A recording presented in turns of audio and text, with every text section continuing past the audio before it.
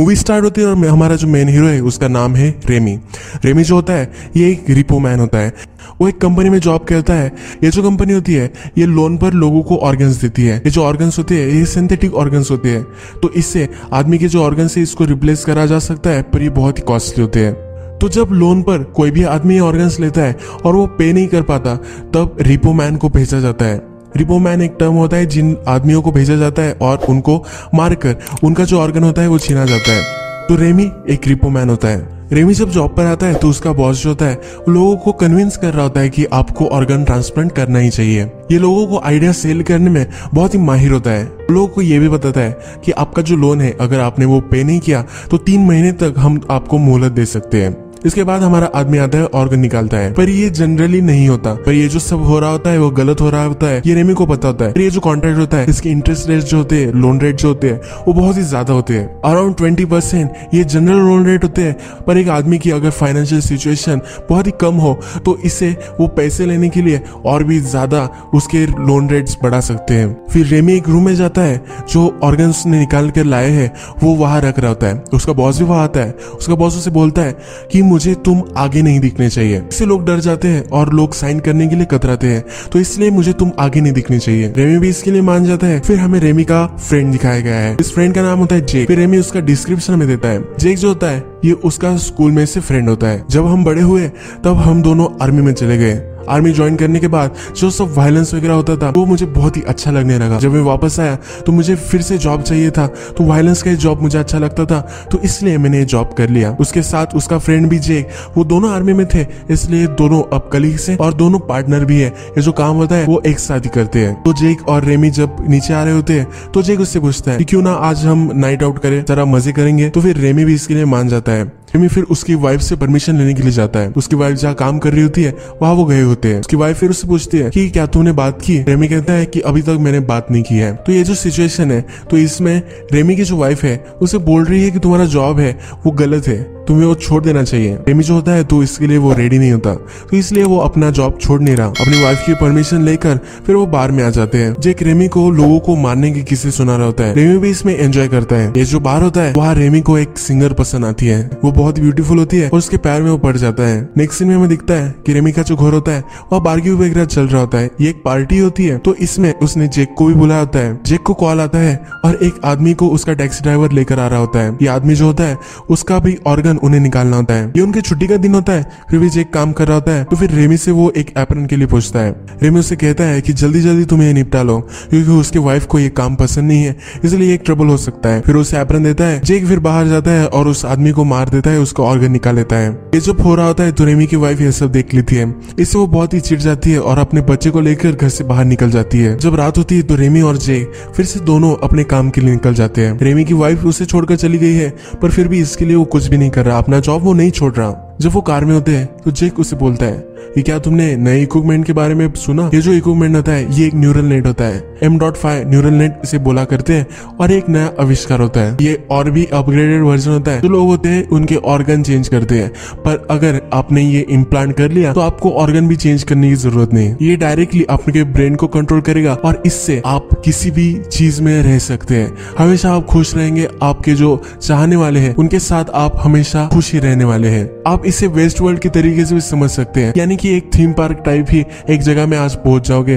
पर ये सब वर्चुअल होगा, आपके ब्रेन में ही चलेगा। पर आपको इसके बारे में पता नहीं होगा। ये जब बात हो जाती है तो वो एक शिप में आ जाते हैं। यहाँ बहुत सारे लोग होते हैं, जिन्होंने ऑर्गन तो ले लिया है, पर इसके लिए पे नहीं किया है। फिर ये दोनों सब लोगों को मारते हैं। फिर बहुत सारे ऑर्गन वगैरह निकाल कर वहाँ से वो चले जाते हैं। फिर वो अपने ऑफ़िस में आते हैं। जो उन्होंने काम किया होता है, इससे कंपनी को बहुत बड़ा फ़ायदा होने वाला होता है। तो उसका जो बॉस होता है, वो उन्हें ऑफ़र देता है कि अब तुम बहुत ही अच्छे से काम कर रहे हो तो तुम्हें अपग्रेड भी तुम करवा सकते हो। ग्रेड यानी कि ये जो उनका जॉब होता है फ्रीलांसिंग टाइप होता है, पर इसमें उन्हें एक स्टेडी जॉब मिल सकता है। रेमिस के लिए मना कर रहा होता है, पर जेक उससे रोक लेता है। जेक उसे बोलता है कि हम इस पर सोचेंगे। जब वो कार में होते हैं तो जेक फिर रेमी को समझाता है। हम जो कर रहे हैं, वो कुछ गलत नहीं कर रहे हैं। हम जो भी काम करते हैं, ये रूल्स के अकॉर्डिंग ही है। अगर दुनिया में रूल्स नहीं रहेंगे तो फिर क्या रहेगा? जॉब एक जॉब होता है, ऐसा वो फिर से उसे समझाता है। रेमी भी ये जो जॉब होता है, वो लेने वाला होता है। फिर हमें दिखता है कि रेमी जो होता है, वो एक म्यूजिशियन के घर पर आता है। म्यूजिशियन को वो पसंद करता है, उसके गाने वो सुनता है उससे बहुत ही अच्छा लगता है। पर इसी म्यूजिशियन के उसे ऑर्गन निकालने होते हैं। रेमी फिर उसे रिलैक्स होने का चांस देता है। वो जैसी प्रोसीजर होती है एंबुलेंस को अगर कॉल करना होगा तो तुम कर सकते हो। ये म्यूजिशियन को बताता है। म्यूजिशियन उसे कहता है, मेरा एक लास्ट गाना है। उसे कंप्लीट कर लेता हूँ, और उसके बाद तुम मुझे मार देना। म्यूजिशियन अपना गाना खत्म करता है और लेट जाता है। जब रेमी उसे शॉक देने वाला होता है, तब उसे शॉक लग जाता है। रेमी फिर हमें डायरेक्टली हॉस्पिटल में दिखाया गया है। रेमी अभी भी अपना जॉब होता है, उसके बारे में सोच रहा होता है। जेक से पूछता है कि क्लाइंट का क्या हुआ? जेक उसे कहता है कि इसके बारे में तुम्हें इतना ज़्यादा सोचना नहीं है। जब रेमी आसपास देखता है, तब उसका ही हार्ट अब चेंज करना होता है। उसका बॉस होता है, वो उससे ये बहुत ही अच्छा हार्ट है, ये सेल करने की कोशिश करता है, पर रेमी को ये कुछ भी नहीं सुनना होता। उसे बहुत ही सदमा लगता है कि अब उसे ही ऑर्गन ट्रांसप्लांट करवाना पड़ रहा है। ये बहुत ही कॉस्टली होता है और इसकी डेट भी बहुत ही ज़्यादा होती है। जेक फिर उसे समझाता है और वो उसका ऑर्गन ट्रांसप्लांट करवा लेते हैं। जब रेमी घर पर आता है, तब उसकी वाइफ उसका सूटकेस उसे बाहर निकाल कर दे देती है। उसे अब रेमी से कोई भी संबंध नहीं रखता। उसे कहती है कि तुम्हें मैंने चांस दिया था। पर तुम जब लास्ट जॉब पर गए तो तुमने वो चांस गवा दिया। रेमी फिर अपने फ्रेंड जेक के यहाँ जाता है और उसके घर पर ही रहता है। जब रेमी को अच्छा लगने लग जाता है, तब वो फिर से ऑफ़िस में आ जाता है। ऑफ़िस में उसके लिए सेलिब्रेट वगैरह करते हैं कि अब वो फिर से अच्छे से वापस आ चुका है। इस इंजुरी के बाद फिर से जब वो एक आदमी के पास जाता है और उसके ऑर्गन वो निकालने वाला होता है, पर वो ये अब कर नहीं पाता। वो उस आदमी को मार नहीं पाता। अभी अभी उसे एक नया एक्सपीरियंस मिला है। वो बहुत ही इंजर्ड हो चुका था और इस सब चीज़ों से उसे सदमा लगा है। तो इसलिए अब वो किसी भी आदमी की जान नहीं ले सकता। फिर से हम नेक्स्ट सीन में देखते हैं कि जेक और रेमी दोनों बार में होते हैं। बार में वो डिंग वगैरह कर रहे होते हैं और जेक फिर से एक स्टोरी बता रहा होता है कि कैसे उसने एक आदमी को मार दिया था। इस बार रेमी ये स्टोरी सुन नहीं पाता। रेमी फिर कहता है कि जिस आदमी को जेक ने मारा है, उसकी वाइफ होगी, उसके किड्स हो गए। इसके बारे में कौन सोचता है? वो जरा फिलोसॉफिकल हो जाता है और उसे अब ये काम करना अच्छा नहीं लगता। नेक्स्ट दिन वो अपने बेटे से भी मिलने जाता है, पर उसकी वाइफ उसे उसे मिलने नहीं देती। रेमी रात में जेक के साथ डिनर कर रहा होता है तो जेक उसे कहता है, ये फ़ेज़ है, ये तो निकल ही जाएगा। थोड़ी दिनों में लोगों को तुम मारने लग जाओगे, कोई प्रॉब्लम नहीं है। फिर भी रेमी ये सब कर नहीं पाता तो वो डेस्क जॉब ले लेता है, जो उसका बॉस करता है कि लोगों को आइडिया सेल करना, कि उन्हें ऑर्गन ट्रांसप्लांट करवाना ही है। ये वो जॉब वो कर रहा होता है। फिर जब वो सेल करता है, पर इसके बाद वो स्ट्रेट फॉरवर्ड उन्हें बता भी देता है कि हम तुम्हें मार सकते हैं। तुम डेट में आ जाओगे और मुझे तुम्हें मारना पड़ेगा, ये भी उसे बताता है। इसे क्लाइंट्स जो होते हैं, वो उससे दूर जाते हैं। इसलिए ये जॉब भी वो नहीं कर पाता। अब रेमी ये जॉब नहीं कर पा रहा तो इसलिए उसके पास पैसे भी नहीं आ रहे अब पैसे नहीं है तो ऑर्गन के जो हफ़्ते आते हैं, वो भी वो पे नहीं कर पा रहा। तो इससे ये बड़ा प्रॉब्लम हो सकता है। फिर जेक उसे समझाता है कि तुम्हें ये जॉब करना ही पड़ेगा, वरना तुम्हें वो मार देंगे। इसलिए वो उसे एक साइट पर लेकर आता है। ये जो एरिया होते हैं यहाँ बहुत सारे लोग होते हैं जिन्होंने अपने ऑर्गन के लिए पे नहीं किया होता। अब उन लोगों को उसने मारना होता है। जेक फिर उसे वहाँ छोड़कर कहकर जाता है कि अब तुम्हें लोगों को मारना ही है और फिर वापस आना है। ये जो तुम कर रहे हो, ये सब तुम्हें अपने सिस्टम से बाहर निकालना है। रेमी फिर वहाँ जाता है तो एक आर्मी को मारने की वो कोशिश करता है, पर वो मार नहीं पाता। वो आदमी उसे इंजोर कर देता है। रेमी भी चलते चलते जब आगे जाता है, तब तो उसे बेत दिखती है। बेत वही सिंगर होती है जिसको उसने बार में देखा था। जो बेत होती है, वो ड्रग्स कर कर वहाँ पड़ी हुई होती है और इसने भी बहुत सारे ऑर्गन्स लगाए होते हैं। बेत की कंडीशन बहुत ही खराब होती है तो रेमी को इसके लिए बहुत ही बुरा लगता है। वो उसे उठाता है और एक मोटेन पर लेकर आता है। जब बेत रात में उठती है तो उसे लगता है कि रेमी उसे मारने के लिए आया है तो उस पर हमला करती है। रेमी फिर अपनी भी सिचुएशन उससे बताता है और वो फिर शांत हो जाती है। रेमी के पास प्रॉब्लम है तो अब वो हफ़्ता भी पे नहीं कर पा रहा तो अब वो क्या करे? तो इसके लिए वो प्लान बनाता है। उसका जो ऑफ़िस होता है, वहाँ वो फेक जो ऑर्गन्स होते हैं, वो वहाँ सबमिट करता है। इसका मतलब उसके जो ऑर्गन्स हो गए उसका सीरियल नंबर मिट जाएगा। इससे अब उस पर लोन नहीं रहने वाला होता। तो ये जब वो कर रहा होता है, वहाँ जेक आ जाता है। जेक उसे रोक लेता है, पर उसे वो कुछ हर्ट वगैरह नहीं करता।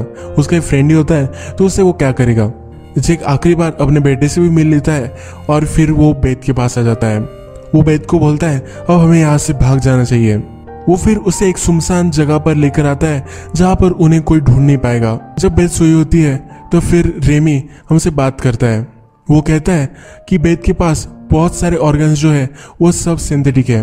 उसके सिर्फ़ हार्ट जो है, वो रियल है। रेमी के पास वही नहीं होता। रेमी का बर्थडे आने वाला होता है, इसलिए बेथ फिर उसे एक टाइपराइटर देती है। इसी टाइपराइटर पर वो लिखता रहता है। फिर नेक्स्ट सीन में हमें दिखता है कि बेथ को कुछ सुनाई देता है। उसके कान भी जो होते हैं, वो सिंथेटिक होते हैं तो इससे उसे बहुत ही ज़्यादा सुनाई देता है।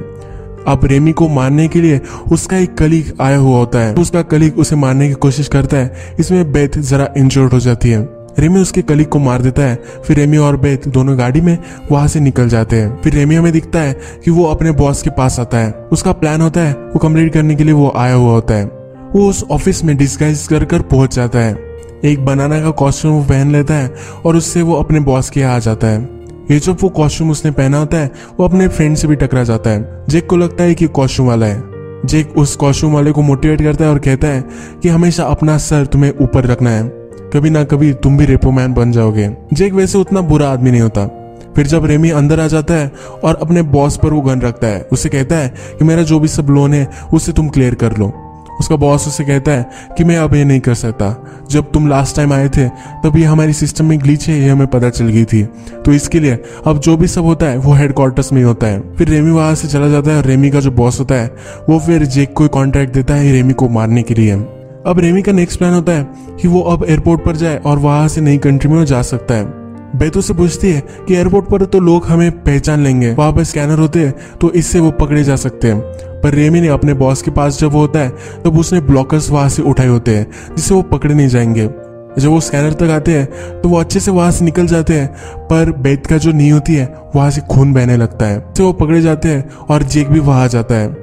उसके फ्रेंड को गलती देकर वहाँ से भी रेमी भाग जाता है। अब रेमी के पास ज़्यादा कुछ प्लान भी नहीं होता तो बेत फिर उसे सजेस्ट करती है।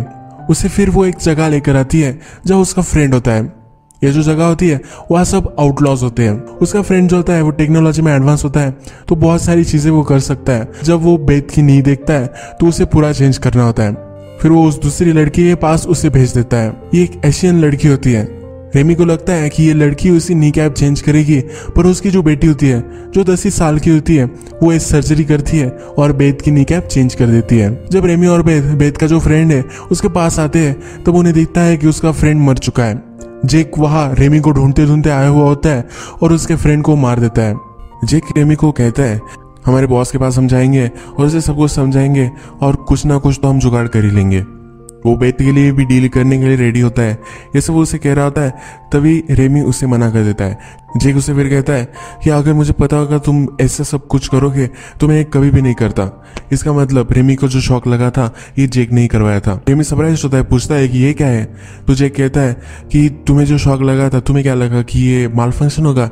ये मैंने ही किया था। तुम जॉब करते रहो, हमारी जो पार्टनरशिप है कंटिन्यू रहे, इसलिए मैंने किया था। अब रेमी को गुस्सा आ जाता है और ये दोनों फाइट करने लग जाते हैं। इस फाइट में एक दूसरे को बहुत ही मारते हैं, पर जेक जब रेमी को एक बड़े हुक से मार ही देने वाला होता है बेत अपना एक डिवाइस निकालती है और इससे जेक को बेहोश कर देती है। जब रेमी को थोड़ी देर बाद होश आता है, तब बेत उसे लेकर निकल रही होती है। तब रेमी वहाँ से उठकर जाने लगता है। बेत उसे कहती है कि क्यों तुम जा रहे हो? हम कोई ना कोई वे ढूंढ ही लेंगे। रेमी कहता है कि इसमें हम कुछ भी वे नहीं ढूंढ सकते। यहाँ से निकलना का एक ही वे है। वो लोग हमेशा हमारे पीछे ही रहेंगे, हम इससे भाग नहीं सकते। हमें इसका डट कर सामना करना पड़ेगा। यही अब उनके पास वे होता है।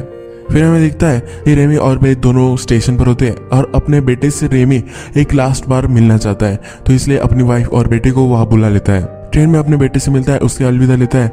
पर उसने जो भी सब लिखा होता है, जिस मूवी के बीच में भी कुछ तो लिख रहा था, जिस ड्राइवर राइटर से बेत ने उसे लिखने के लिए बोला था, उस ड्राइवर राइटर से ये सब कुछ वो लिख रहा होता है। तो उसने एक स्टोरी बनाई होती है।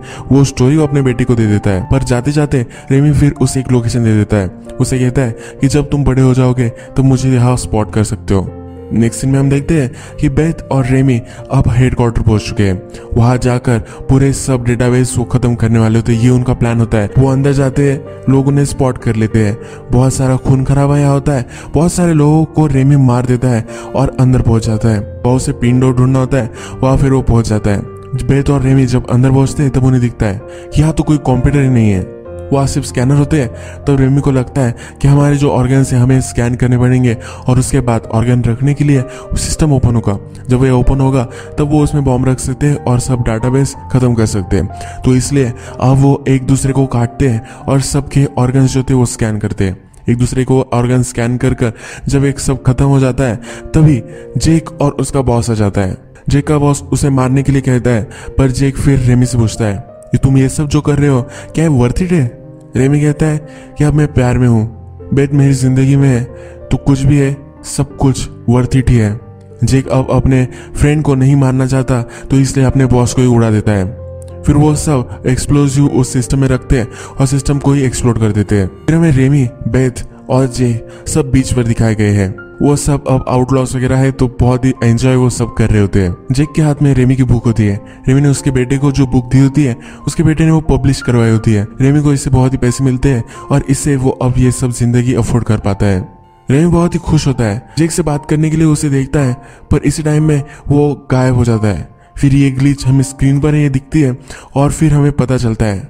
जेक जो था, उसने रेमी को पहले ही मार दिया था।